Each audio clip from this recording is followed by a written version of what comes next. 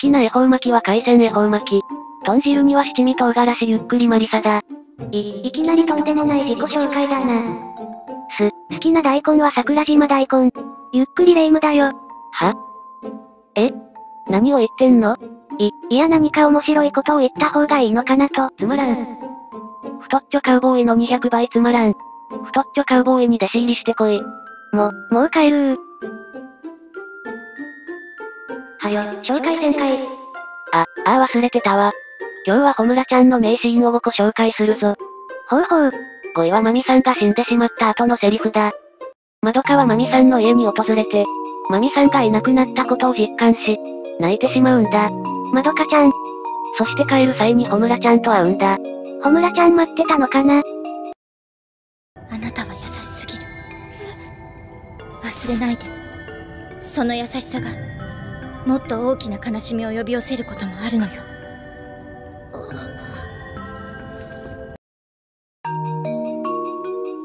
まどかは何のことか分かってないんだね。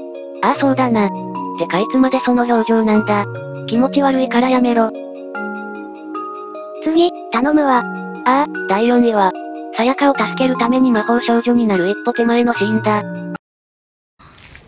なたは、なんであなたはいつだって、そうやって自分を犠牲にして。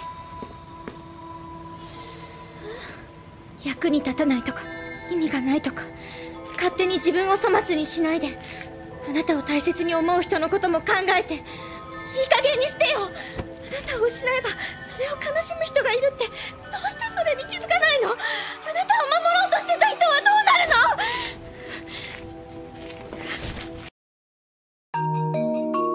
うなるのホムラちゃんの思いが爆発したね。まどかちゃんが魔法少女になろうとしてたからな。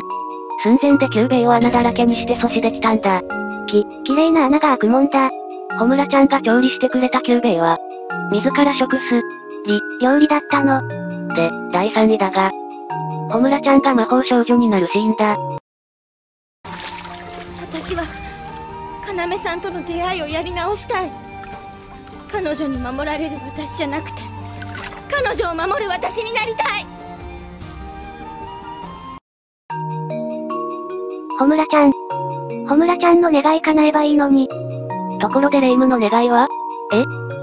さ、桜島大根100本欲しいな。本当かい？君のその願いのために魂をかけられるかい？は、はい。それはよかった。次は第2位だ。意味ない質問なんだった。の一人の、私の友達。ホムラちゃん。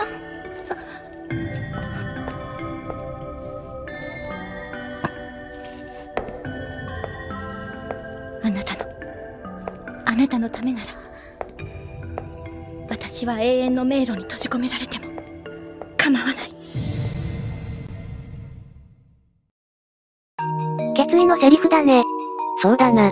こんなにも大切に思っているまどかちゃんが、何度も死んだり、魔女になったりするだけでも絶望なのに、諦めずに運命を変えようとするんだ。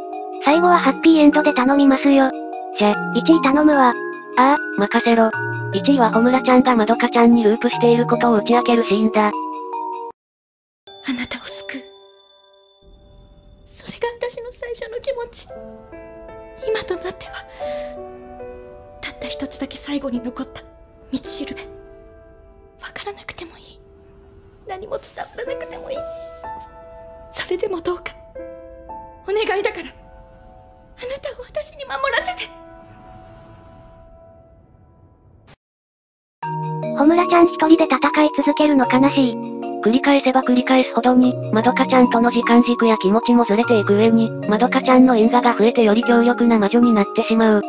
ホムラちゃんも限界寸前だったんだ。みんなもアニメでもう一回見てね。悲しいなぁ。せめて最後は笑顔の画像を頼むわ。ああ任せろ。なんでや。なんで太っちょカウボーイなんや。あ、ああ、間違えたわ。じゃ、そろそろプリン食べるから帰るわ。見てくれてありがとうな。高評価チャンネル登録も嬉しいな。